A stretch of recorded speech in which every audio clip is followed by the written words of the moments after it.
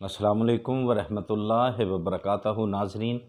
B H दवाखाना YouTube channel की जानब से आज फिर हम आपके लिए बकिया जो हमारा रोगन दफली का नुस्खा है, था, वो लेके हाज़िर हैं। किन किन अमराज पे? दो बता दी थी।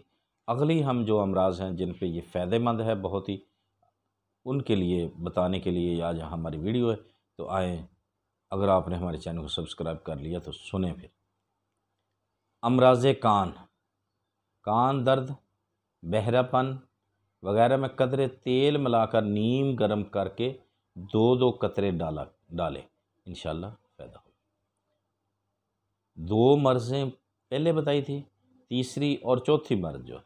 अमराज फसाद खून, जानी के दाद, खारश, चंबल, फोड़े, फिंसी वगैरह के ऊपर लगाएँ।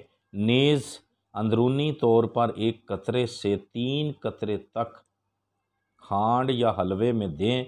ब फजल खुदा चंद योम के इस्तेमाल से फसाद खून दूर होकर खून साफ़ हो जाएगा। जजाम तक को मफीद है। नेज़ वरम तोआल वरम जिगर, बाओगोला, अस्तका, करम शिकम व हैज़ा के लिए ये दो बूंद तक पतासे में रख कर खिलाने खला कर ऊपर से मुनासब अर्क या शरबत दिया जाए। मसलन बरम जिगर में अर्क मको या अर्क कासनी और हैज़े में अर्क पदीने के साथ दिया जाए। ठीक हो गया, ये चार मर्ज़ें होगी, पाँचवीं में चले। असबी अमराज जानी के फालज, लकवा, खुदर, राशा, तश, तशीख वगैरह और मालिश करें और खिलाएँ। इन ज़रूर मफीद व फ़ायदेमंद होगा। पाँच माह, छः माह जानी कि छठा।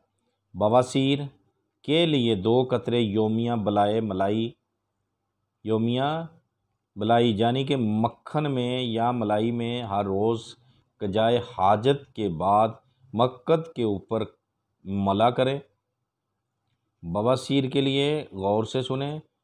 मलाई में हल करके या मक्खन के साथ हल करके मक्कत के ऊपर मला करें। इन चंद योम में मस्से जो होते हैं, जिनको मौके भी कहते हैं, मस्से के ऊपर जो होंगे, वो नेस्ता नबूद हो जाएँगे, ख़त्म हो जाएँगे, जड़ से ख़त्म हो जाएँगे। ठीक है?